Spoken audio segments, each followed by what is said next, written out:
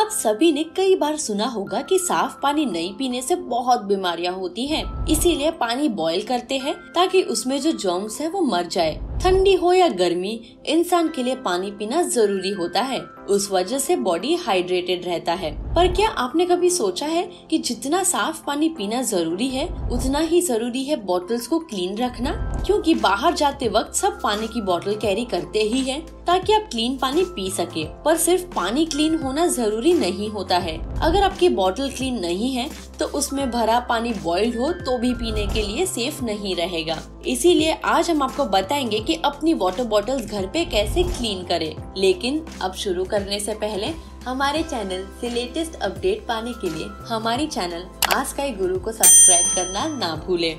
Tips to clean bottles at home. Soak in soapy water. Bottle को गर्म पानी में धोने से सिर्फ़ जर्म्स डिस्ट्रॉय होते हैं।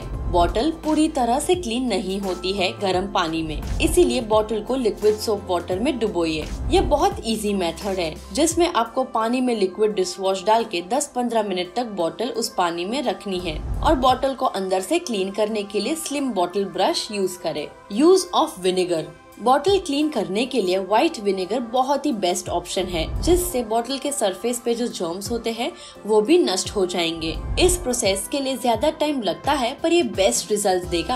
आपको बॉटल में विनेगर डाल के रात भर रखना है और सुबह पानी और डिश वॉश से बॉटल को धो देना है। बॉटल पूरी तरह क्लीन और जर्म फ्री हो जाएगी। Use light bleaching agents bleaching agents का यूज़ करने से एक वॉश में बॉटल के जर्म्स क्लीन हो जाएँगे। ब्लीच को पानी में मिक्स करें और बॉटल को पानी से क्लीन करें और फिर बॉटल को कम्प्लीटली ड्राई होने दें। यूज़ क्लिनजिंग टेबलेट्स कोई भी क्लिनजिंग टेबलेट्स जो पानी में डिजोल्व हो, ऐसे टेबलेट से बॉटल क्लीन करें। बॉटल में पानी भरें, फिर उसमें क्लिनजिंग टेबलेट डालें और एटलीस्ट 30 मिनट तक रखें। बॉटल पूरा क्लीन हो जाएगा। अगर आपको बॉटल जर्म फ्री और क्लीन रखनी है तो इसमें से कोई भी आप वे फॉलो कर सकते हैं। बॉटल की बैड स्मेल से आपको पानी पीने का मन भी नहीं होगा और वो आपकी हेल्थ के लिए हार्मफुल भी हो सकता है। और याद रखें, ज़्यादातर बैक्टीरिया डार्क प्लेसेस में ग्रो होते हैं। इसीलिए बॉटल को बाहर से धोना काफ़ी नहीं होता है। अंदर से भी क्लीन होना ज़रूरी है। तो बॉटल को वीक में दो तीन बार अच्छे से क्लीन करना बहुत ज़रूरी हो जाता है।